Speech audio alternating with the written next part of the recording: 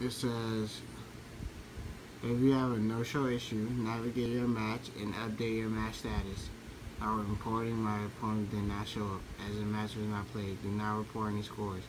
To receive a no-show win, you must submit a ticket within 45 minutes of the scheduled match time. You must also select the no-show option for a opponent when you go to the report match and show your proof. This kid did not report I know showed. Instead, he reported 2-0. I never played him. He posted a match for three hours later.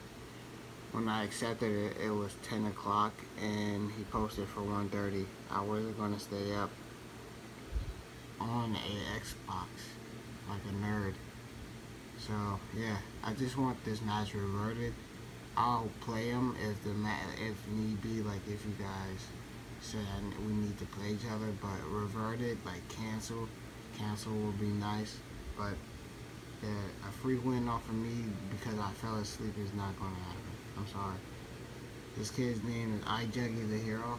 Here, I also have messages of me even saying cancel. Like, right? The moment I accepted his match and I noticed it was for three hours later, I sent them a message saying cancel, please, cancel. But cancel, cancel. And then he said, are you ready? And I was asleep when he said that. So...